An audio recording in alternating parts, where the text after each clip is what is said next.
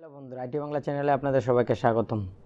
বন্ধুরা, আপনারা যারা হোয়াটসঅ্যাপ ব্যবহার করেন, তারা কোনো না কোনো গ্রুপের সাথে যুক্ত আছেন। প্রতিদিনই আপনাদের মোবাইলে অনেক ফাইল আসতে থাকে, যেমন জিপ ফাইল, তারপরে ভিডিও, অডিও, পিকচার, অনেক কিছু আসে, যে কারণে আস্তে আস্তে আপনাদের মোবাইলের স্টোরেজ মেমোরিটা ফুল হতে থাকে।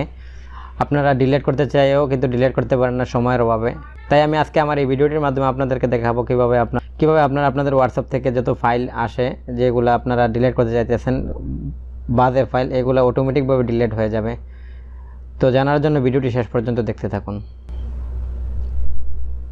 প্রথমে আপনারা প্লে স্টোর থেকে একটি অ্যাপ ডাউনলোড করতে হবে। অ্যাপের লিঙ্কটা আমি ভিডিও ডিসক্রিপশনে দিয়ে দেবো। এখান থেকে আপনারা ডাউনলোড করতে পারবেন।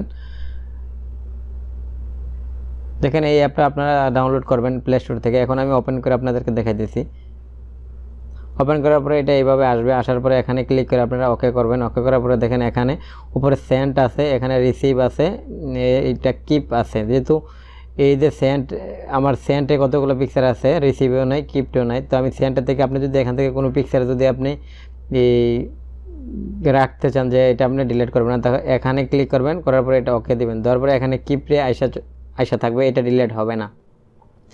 আর এখান থেকে বাকিগুলো ডিলেট হবে কিন্তু এই কিপটে যেগুলো আসবে, এগুলো ডিলেট হবে না। এভাবে আপনি রিসিভের থেকেও যেগুলো আপনি রাখতে চাইতেছেন, এগুলো রাখতে পারবেন। তো কিপ করে রাখতে এখন আমি আপনাদেরকে বলব কীভাবে আপনারা আপনাদের হোয়াটসঅ্যাপের যত ফাইল আছে, এগুলো অটোমেটিক ডিলেট করবেন। তো অটোমেটিক ডিলেট করতে হলে আপনারা এই থ্রি ডটে ক্লিক করবেন করার পরে সেটিংয়ে আসবেন। আসার পরে এখানে দেখেন ক্লিনিং শিডিউল এটাতে ক্লিক করবেন।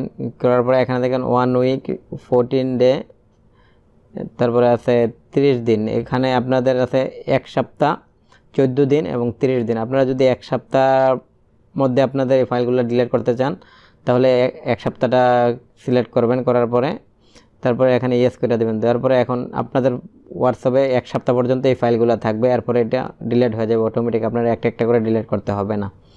ঠিক আছে? তারপরে ব্যাক করেন। ব্যাক করার পরে দেখেন এখানে মিডিয়া ক্যাটাগরি আছে। মিডিয়া ক্যাটাগরি থেকে সিলেক্ট করার পরে আপনি যদি কোনো ফাইল আপনি আপনার মোবাইলে হোয়াটসঅ্যাপে যদি ইমেজগুলো আসে, এগুলো ডিলিট করতে না চান, তাহলে এটা অফ করে রাখবেন। অথবা আপনি যদি চান ভিডিওগুলো ডিলিট না হওয়ার জন্য, এটা অফ করবেন।